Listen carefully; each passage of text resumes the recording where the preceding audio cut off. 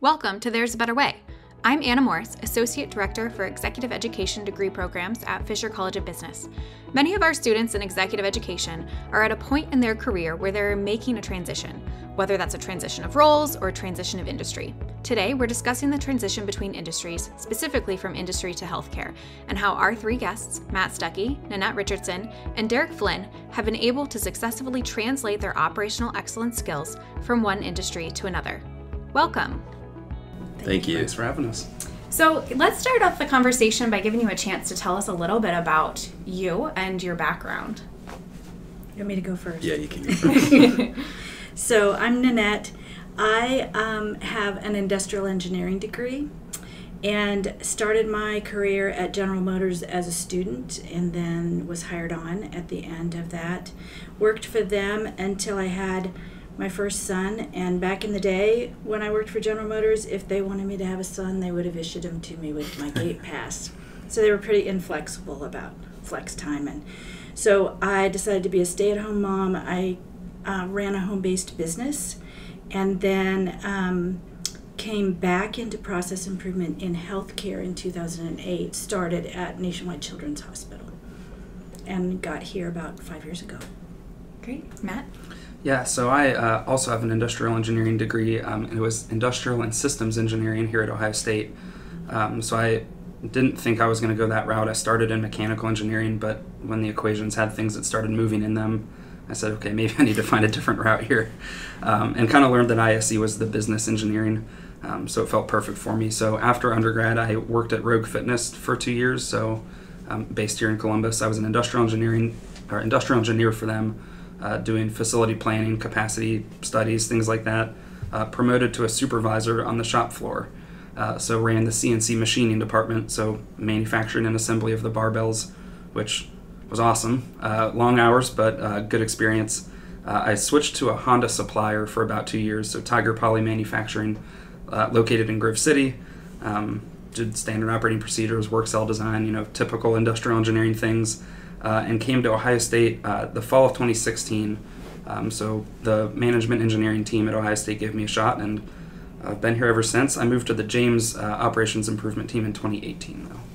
Great. And Derek? Yeah, so I have a little bit different uh, background. Uh, my bachelor's degree was actually in political science, um, and I did Army ROTC while I was in college, um, and did five years as an infantry officer in the Army. And kind of towards the end of my time in the Army, I was exposed to Lean and Six Sigma, and uh, had the opportunity to get exposed to the MBOE program, um, and that's what brought me up here to Columbus. So while I was doing the MBOE program here at Fisher.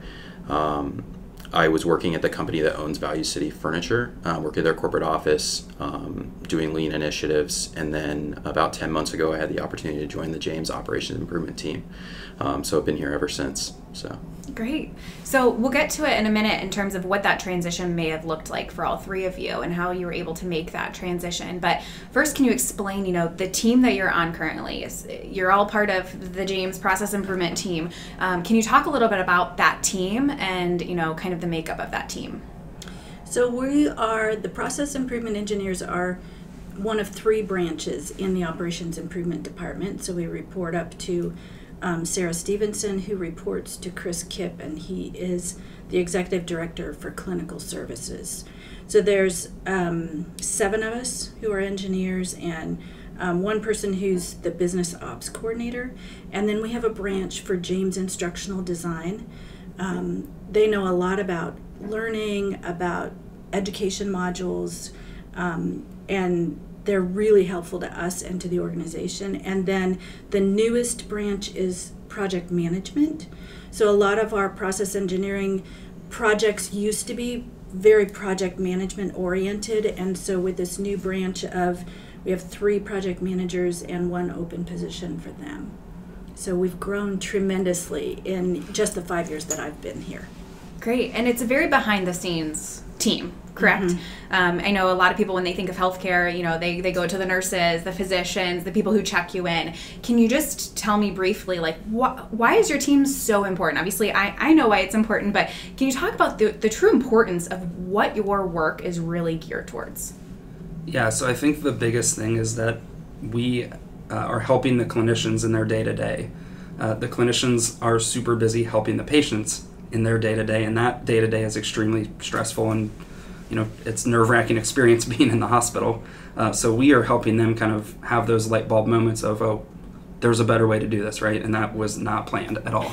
Um, so I, I think that we're just helping them see that just because it's done one way today doesn't mean that has to be the same you know as they move forward helping the patients and so for us it's we're helping them help the patients so we're helping the patients um, you know the goal with the goal of eradicating cancer so Yeah. But indirectly, which Yeah. puts us behind the scenes. Mm-hmm. sure you know like limiting wait times in the in the waiting rooms mm-hmm. right i mean recovery times you're looking at all of the ways that you can improve those processes that then impact patient care correct? Okay. Um, so now moving to kind of the transition when you were in industry were you ever thinking oh my goodness i can take the skills i'm doing in the manufacturing or the process improvement in the manufacturing or in, in industry excuse me and translate that into patient care? Is that something that was on your mind, or is that something you, you came to know as you were kind of looking at your career path? I think I can kick this off. Yeah. I think being in the MBOE program, I was exposed to a lot of varying um, industries and a lot of physicians, a lot of nurses. So I started to see, hey, this can work in finance, this can work in healthcare, this can work in anywhere I want to go. It's just a way of thinking. It's a way of attacking problems, and it's not specific to industry or or any specific um, workplace. And so um, I started to get that almost immediately after starting the MBOE program. Was like, man, I could really make a difference with this in a place that isn't focused as much on dollars and cents, but more focused on patient care.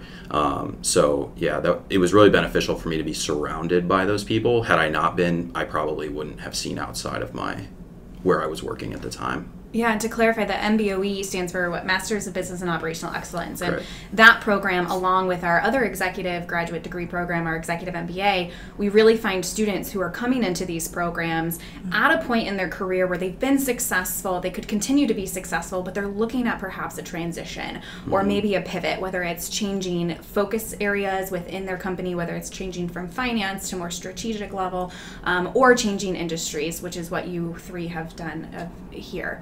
Um, so let's talk about that transition. What made you want to make that change from industry to healthcare? Um, so, because I took such a sabbatical off to be a stay at home mom and teach and have a home based business, um, my first real experience with healthcare was always on the patient side of things. And um, I had several experiences with one of my sons at Nationwide Children's Hospital. And while it was wonderful and um, one, of, one of the best patient cares that I could have, I was always sitting back thinking, I wonder how they. I wonder how they improve what they do, or I wonder how they maintain this culture. And so, um, when I started to look for a job in industry, um, I thought to myself, it was the first time for me that something like service or healthcare could be an option. Um, I started my career a lot, a number of years earlier than Matt and Derek have. And so then it was not heard of in healthcare, and it really wasn't heard of in the service industry. So it's been a, a progression in the United States. Yeah, I think for me it was I've always been interested in the healthcare side of things, but kind of the same thing of on the patient side, um, unfortunately for a, a few things. And it's like, man, this is a really cool operation, but never thought that what I did as an industrial engineer would apply to healthcare. But um, saw this the posting for the Med Center on LinkedIn and just said, this is it. Like this is what I want to do. Uh, making widgets every day, you know, as cool as it is, uh, just didn't really get it done for me. So finding the why um, really was the reason that I was said, you know, I, I want to put all my efforts into getting this job at the at the med center. Um, and anytime you're feeling a little down or a little, you know, "Oh, man, these projects are bogging me down, just walk through the hospital in about five minutes. Uh, the motivation and, and the and all that comes, you know, right back. So um, I do have a funny story about uh, my first interview for the med center job. I really went to the Gemba a week beforehand. Uh, I Can you was, explain what that means? yeah, so going to the Gemba is the, the place where the work is done, um, and it's a Japanese term, so a lot of what we do is still derived from the Toyota way and, and all of that stuff. So uh, it was about two weeks before I think my interview was scheduled, and I was riding my bike, just trying to get a workout in, uh, involved in an accident. Um, concussion, four hours of not remembering my life, which is terrifying. Uh, and apparently, I ended up in the emergency department. And so I show up to this interview with just a gnarly wound on my head, and just like, I really tried to see what, what the work was like uh, a couple weeks ago. You know, here I am, and I still got the job. So I don't know if going to the Gemba is um, the reason why, but um, that's a very unique way to do yeah, it. Yeah, yeah. I would not recommend it at all. Yeah, that's not. Yeah. Um, so it sounds like you guys are very passionate about kind of moving into from industry to that mission based work at the mm-hmm. James. Um, I'm sure it also had some challenges, right? I mean, uh, process improvement can can translate well, but there's still very different things from manufacturing and industry over to healthcare. Can you talk about some of those obstacles when you were making that transition? And maybe Derek, the MBOE program hopefully helped prepare you for some of those obstacles. Yeah, I think from uh, probably the largest obstacle is just the language, acronyms.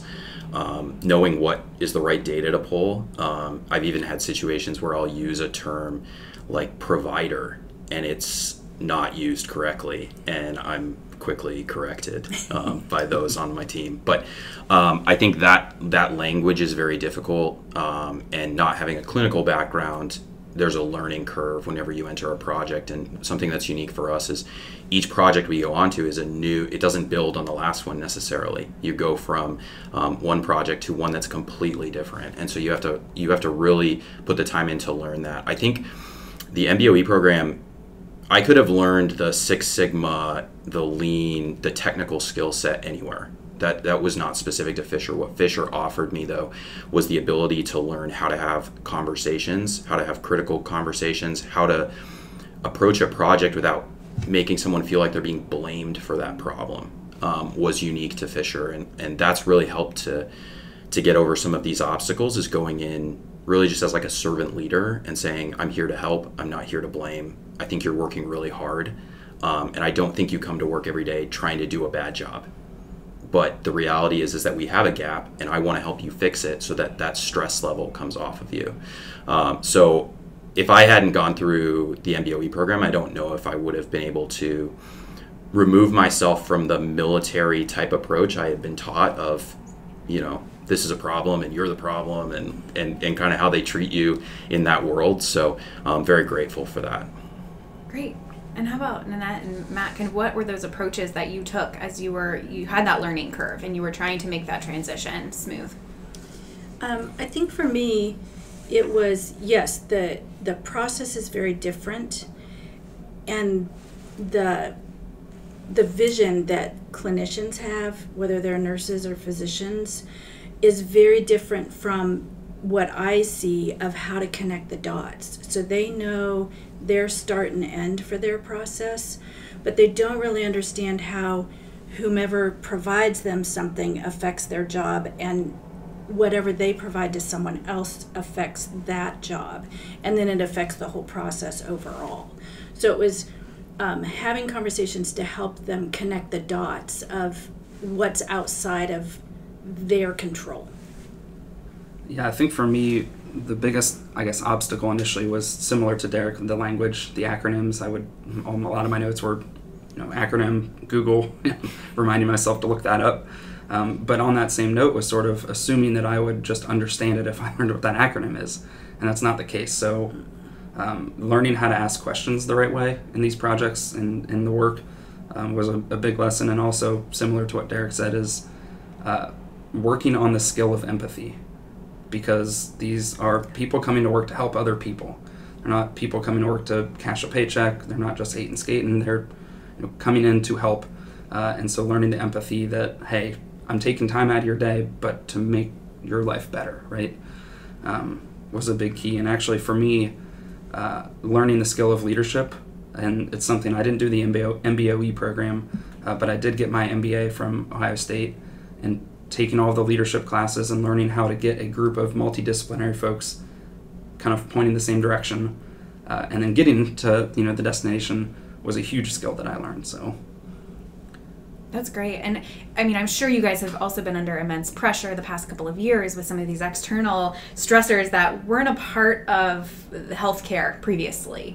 Um, and so being able to navigate those crucial conversations and how you approach problems and how you approach the, the work um, is extremely important. So we've talked broadly about the type of work that you do. Can we talk kind of more specific? What projects have you implemented or are working on currently um, in order to help that patient care improve? You want me to start? Sure. um, so, a significant number of my projects are in the ORs, in the operating rooms. Um, and the biggest focus thus far has been getting the instruments, equipment, and supplies to the correct OR at the correct time and have them be of high quality and accurate. So, um, working with preference cards, which are kind of like the recipe cards for a for a procedure. Um, that list everything that's needed and then helps the nurse and the staff with setup of the OR. Um, and now the real focus is on how to communicate with Central Sterile Supply to make sure that the instrument sets that come up are correct and that they're set up correctly and that they've been sterilized um, sufficiently and I'm sure doing that in an efficient way then helps with you know delays for Absolutely. patient you know procedures and making sure that the ORs run on time. Yes, absolutely. And so it all kind of rolls together. And to um, Matt's point, it I'm trying to help them see that if they complete the communication to Central Sterile Supply and let them know what their expectations are, then what they receive from Central Sterile Supply will will meet their expectations and they can meet all the metrics that they have to meet. And what type of check-ins are you having? I know you mentioned before we started that you were you were in the OR this morning with the OR team early this morning. What type of check-ins do you have as you're working to implement this this process? Um, we're, we're working on a dashboard that'll sh- well two things. The way that they're going to communicate with Central Sterile Supply is that they have iPads and a check-in procedure that lets them know lets Central Sterile Supply know this was the OR and this was the procedure and this was our issue, and they can even take a picture of the issue because a picture is worth a thousand words, and then it gets sent directly to Central Sterile Supply, who can use it for coaching moments, but also for data so that I can go back and let them know okay, this is how well you're doing on reporting issues um, the good thing is that once they started using it, they also wanted to report what was good. So they weren't trying to always show the bad. They want to begin to report also to say, hey, this was great, and take a picture of it and show them why it was great. And you're able to provide them instant feedback instead mm-hmm. of seeing that there's a problem and having to remember that a few hours later when you exactly. finally sit down at a computer and, and send that information. Exactly. That's great. Matt? Yeah, a lot of my work um, is around the care continuum, and that is such a broad term, um, and it really is a broad area. Um, but it really literally spans from inpatient, so when you come into the hospital, to when you leave, but then getting you to your outpatient appointment um, in a timely manner, things like that. So, um, a big project that I've been working on is reducing our unplanned readmission rate.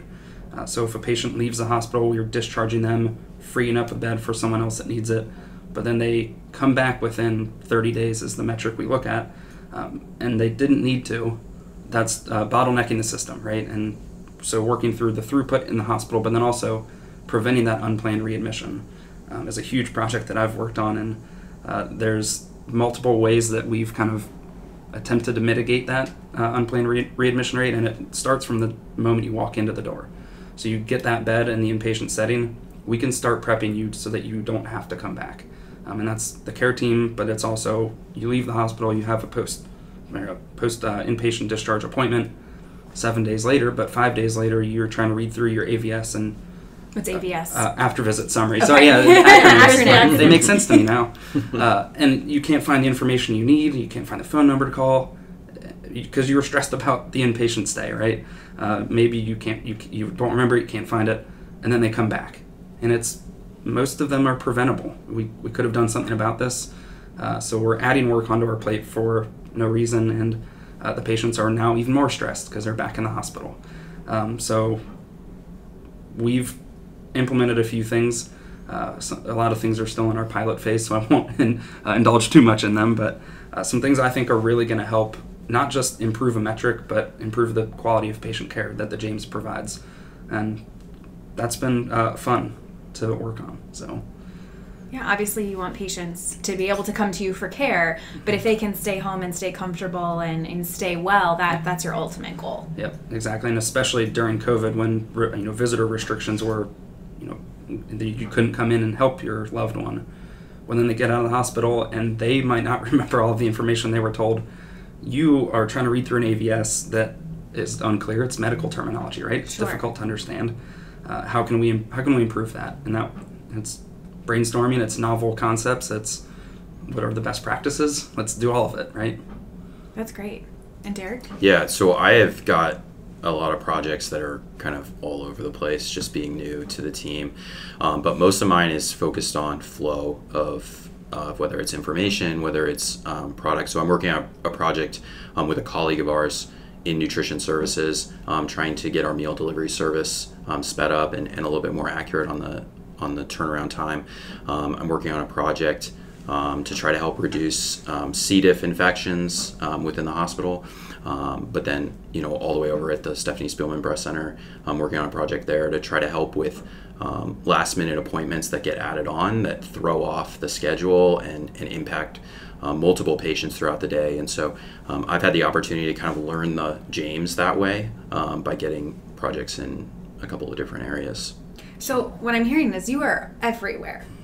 You, Yeah. I mean, mm-hmm. from meals to after they're discharged to OR, your mm-hmm. team really reaches everywhere within the James. Mm-hmm. Yeah. And I- I'm sure patients don't necessarily know that until they listen to this.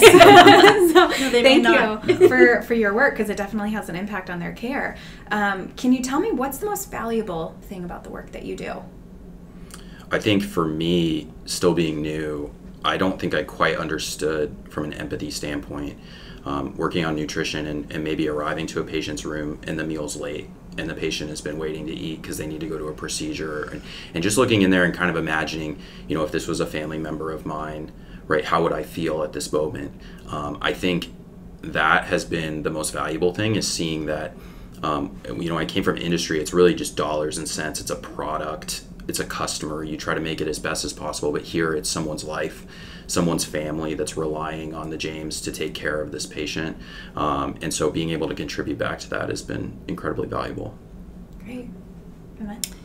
Um, I think for me, it's it's that piece, helping the patient have the best experience on one end, but the other end is when I'm working with a team of clinicians or or a multifunctional team. It might even be registration and billing all together. Um, and as they're working through the process, coming up with ideas, and they have that aha moment of, oh, I thought this was going to be more work, but it's really not going to be. It's going to be helpful in the end. So that's that's a lot of it as well. Great. And I think it's the relationships. So relation relationship based care is how we operate at the James. So it's care for patient, care for self, care for colleague, um, all of those things. And when you get into a project, you do start caring a lot uh, about your team. You you know say you're doing an observation in a clinic, you see the same patients maybe once a week. Uh, you start caring for them, right? And it's so it's relationships you build with your project team, um, the patients themselves, coworkers, right? We're having issues and we come together as a team and we talk about it and how do how can we help each other.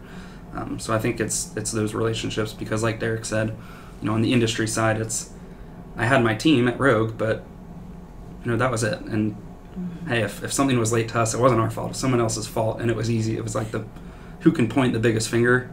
Now it's hey, uh, who can help each other the best, right? And that's just the cohesive environment. I think is uh, the most valuable working for the James. I mean, the passion that you guys have makes me want to join your team. so if there's an project manager spot opening. No, so it sounds like, you know, there's great things that industry has to offer, right? And there's Mm-hmm. there's wonderful things that are happening in those industries and manufacturing. But it sounds like you three have found your better way of using that process improvement that you've learned um, to kind of guide that mission based work that it sounds is very valuable to you as individuals. Yeah, So, absolutely. so so was Yeah, that transition, despite the obstacles and all the acronyms, was it worth it? Last question. Yeah, absolutely. From my end, I mean, especially what Matt was referencing with our team. I mean, our team is a group. I've never met a group of people that have no egos and are. I can go to them on anything. What do you think about this? Am I looking at this the right way? And there's that help. And and even within the James, it's the same way. I can go to somebody that's been on a prior project and say, "Hey, can you help me?" And I've never had that level of collaboration in my career so far. So absolutely, it's been a great move. Yeah, I think so too. I tell people um, frequently. So I told you that I started in healthcare later in my career, and after a very diverse career, and I packed four hospital experiences into a very short time. Nationwide Children's Hospital, a couple of community hospitals, and now the James. And I tell people that I've landed where I'm supposed to land. Yeah, and I mean, of, of course, it's been uh, worth it. I think for two reasons. One, uh, healthcare, helping people. It's just sort of my passion. That's kind of what um, I like to do is help people and lead. And two, it's Ohio State. it's like my dream to work for Ohio State, and I thought I'd be like a you know 65 year old professor that got one shot. And here, you know, in my 20s working for Ohio State. This is my dream. This is awesome. Well, thank you for the conversation. And I know we're working with your team to collaborate with our Masters of Business Operational Excellence program to see how maybe they can get involved in, ty- in your type of work and understand what's happening behind um, closed doors at the James. So thank you so much for joining us. It was it was a wonderful conversation. Thank you. Thank, Thank you. you. Appreciate it. We hope you enjoyed listening to this episode. For more episodes or information about executive education program offerings, please visit fisher.osu.edu.